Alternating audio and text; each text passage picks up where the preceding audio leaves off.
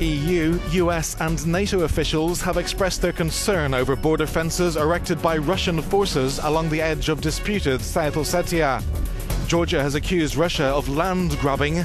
Russia says it's acting within the terms of a 2009 deal with South Ossetia.